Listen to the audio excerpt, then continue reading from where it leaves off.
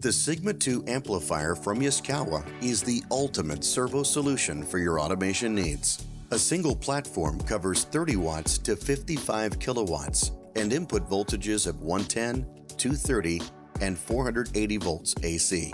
The Sigma 2 amplifier can be set to torque, speed, or position control. A single axis controller and a variety of network interface modules can be attached to the amplifier for the utmost flexibility.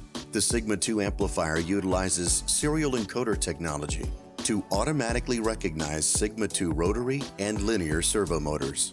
A built-in keypad and serial port allows for easy setup and monitoring of the servo system.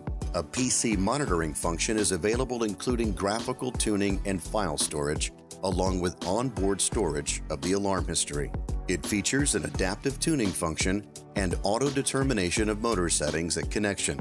It also has additional functionality with ready to install application modules.